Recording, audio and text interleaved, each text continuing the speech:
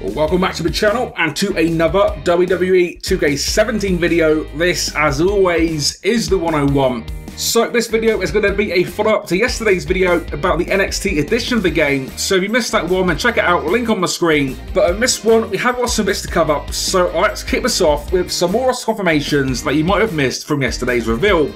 So in yesterday's video, we touched on Invisible Superstars on the Collector's Edition box that would appear to reveal several confirmations for the new game. Those including Aiden English and Simon Gotch, Apollo Crews, Asuka, Bayley, Enzo Amore and Big Cass, Blake and Murphy, Dana The Revival, Finn Balor, Nia Jax, Samoa Joe, and of course Shinsuke Nakamura. However, looking at things a little more closely, there is two more confirmations that you might have missed. There is firstly Alexa Bliss, who you can see here on the left hand side of the cover. So definitely a nice addition for the women's division in the game. And then something you might have seen on my Twitter yesterday as I did tweet this out. Right in the corner on the left hand side, you can see a bit of shoulder, which looks to be Jason Jordan, which in turn should confirm American Alpha for the game. So in theory, this reveal also confirms Alexa Bliss and American Alpha for 2K17, which is obviously some pretty good news.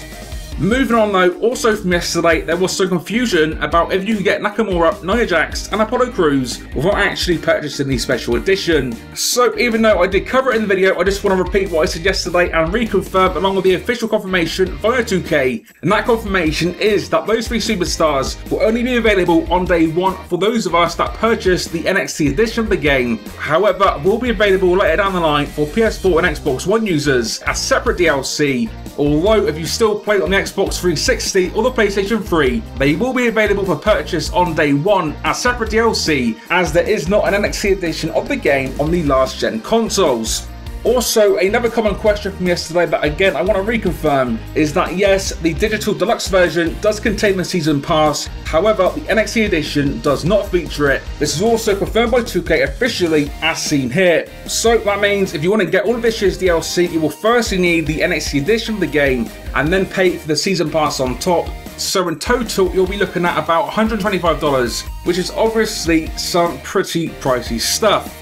And the last thing I want to cover in today's video, since some of you guys have been asking, is where you can purchase this edition if you're living outside of the United States.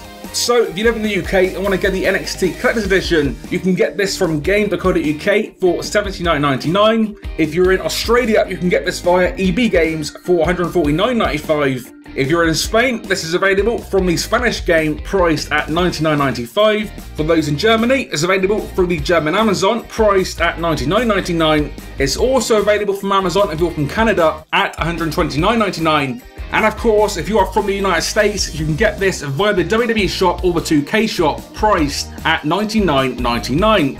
So if you're looking to purchase the NXT edition and didn't know where to get it, hopefully that might help you out.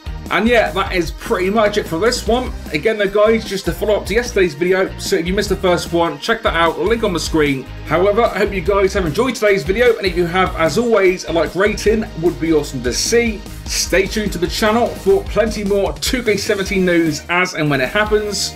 And until next time, this has been 101, and I will see you all on the next one.